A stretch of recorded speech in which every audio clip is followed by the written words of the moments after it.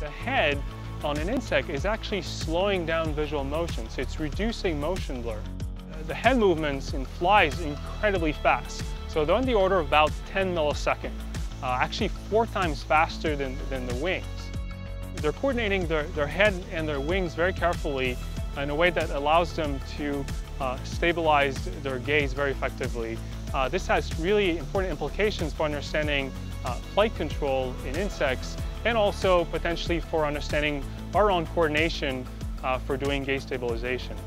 My lab works at the interface of biology and engineering, and so we try to extract principles from biology using engineering tools that can advance the state of the art of, in, in engineering, uh, particularly in robotics. What we're looking at here is sensing in flight. Uh, specifically, we're looking at how flies actively sense their visual environment. What we did is we built this, you know, virtual reality flight simulator, which allows to, us to have very precise control over the fly's uh, visual environment. So we came up with these experiments basically where we moved the world of the fly in virtual reality. And we actually developed our own custom software to track the head and wings using high-speed videos that we took and using these tools to understand and basically pull out the underlying mechanism in this behavior. Head movements we found are you know, essential for flies in flight, and they aid in a variety of visual stabilization tests. If we look at the best man-made, you know, let's say insect scale robots, they pale in comparison to what flies and other small insects can do.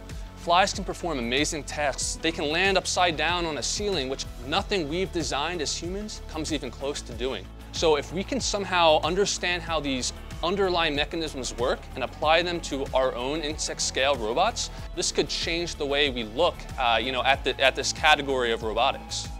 And so there's a huge interest in developing smart sensors to enable things like space exploration, industrial monitoring, uh, doing search and rescue uh, in disaster areas. There are also implications for neuroscience, you know, trying to understand how the brain controls movement. Biology has amazing solutions that already exist that have solved problems that we've been trying to solve for years. So if you want to design a robot that can land upside down on a ceiling or design a robot that can actively sense the visual world, look to biology first for inspiration before uh, you know, using your typical engineering tools to solve the problem.